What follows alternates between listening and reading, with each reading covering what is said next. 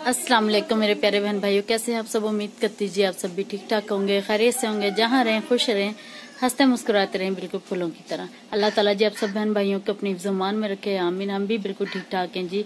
अल्हम्दुलिल्लाह। के काम जरा चेक करें। ये छली खा रही है मोमना? इधर देखो।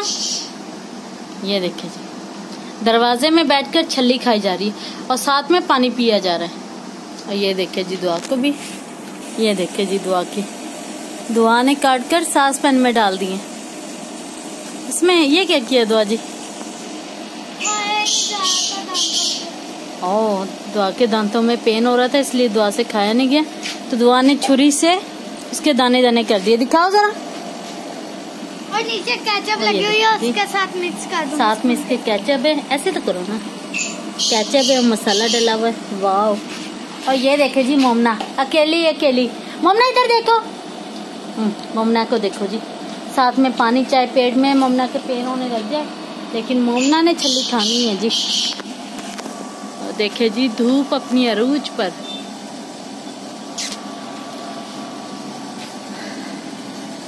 और ये देखे जी सामने रखे हुए हैं जी कबूतर हमारे यहाँ भाई ने। और ये सुबह सुबह अल्लाह का नाम लेते हैं। जब ये पढ़ते हैं ना, अल्लाह, अल्लाहू तो हमारे यहाँ तक आवाज़ आती है इसकी, इन कबूतरों की। ये जी, मैं करीब से दिखाऊँ। ये देखिए जी। ये मैं करीब से दिखा रही हूँ कर कर ये देखिए कबूतर। जब ये पढ़ते हैं ना तो फिर कहते हैं, अल्लाह, अल्लाहू। इतना अच्छा लगता है सुबह सुबह अल्लाह का नाम लेते हैं ये। अल्लाह के ये जानवर हैं तो देखे, लेकिन फिर भी बेजबान नहीं है। अल्लाह का नाम लेते हैं सुबह सुबह सी बात है। अल्लाह ताला जी, सबको भी हिम्मत और तौफीक दे जी, हम सबको भी नमाज़ और कुरान पढ़ने की। आमीन, या रब्बुल मैं जा रही थी नमाज़ पढ़ने के लिए बच्चे ले आए छलियाँ। तो मैंने कहा, चले जी छली खा लेते हैं। बच्चों ने खाना शुरू कर दिए और मैं दुआ से लेके खाऊँगी। क्या दुआ? ओहो, दुआ का मुँह कितना बड़ा आ रहा था। मैंने क्लोज किया हुआ था, दुआ का मुँह इतना बड़ा आ रहा था। मैंने कहा, ये क्या हुआ? दुआ का चेहरा क्यों इतना बड़ा हो गया? चलो दुआ जी, नमाज़ पढ़ो बेटा। वज़ू करो मोमना जी।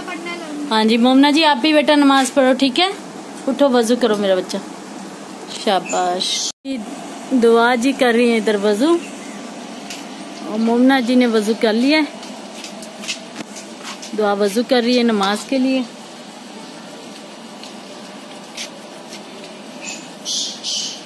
और मोमना दिखाओ। हजाब क्या? ये देखिए जी। मोमना जी ने हजाब कर लिया है। ये देखें। नमाज़ के लिए वज़ू कर लिया इसने। और दुआ जी वज़ू कर रही है। दुआ जी ने हाफ़ बाजू पहने लेकिन ये अपने आप को कवर करेगी सारे दुपट्टे के साथ। क्योंकि गर्मी इतनी ज़्यादा थी ना तो बच्चों को पूरे बाजू वाले कपड़े नहीं पहने हैं। गर्मी बहुत ज़्यादा है। हो गया जी।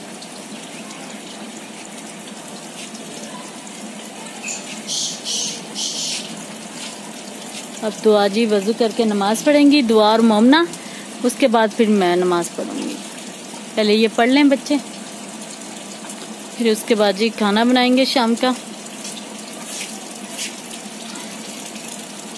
मोमना नमाज़ पढ़ रही है इधर।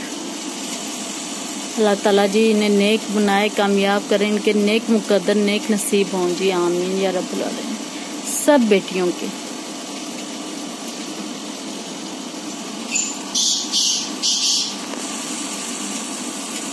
और मोमना नमाज़ पढ़ रही थी शाम की। टाइम हो चुका जी। साढ़े पाँच का असर की नमाज़ पढ़ोगी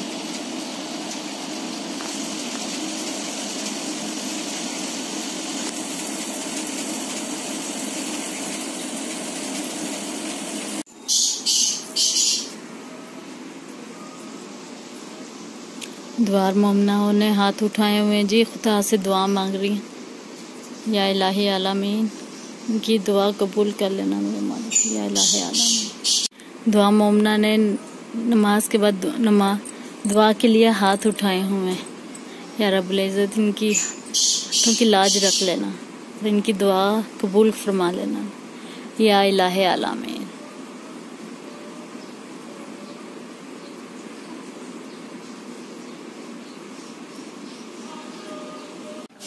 तो मामा सफ़ाई कर रही हैं? हाँ जी मैंने क्या यहाँ से धो लेती हूँ ताकि रात को ना ठंडा हो जाएगा यहाँ पानी गिराने से ना